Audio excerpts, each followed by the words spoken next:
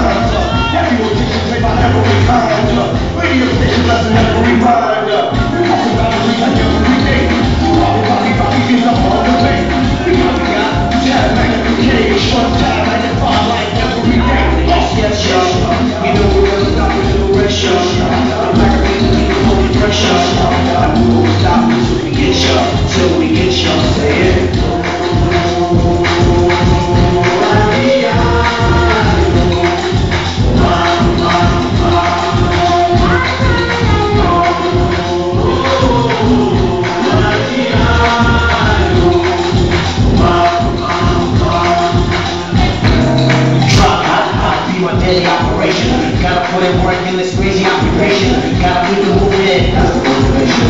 Gotta write the way to keep my tight relation with my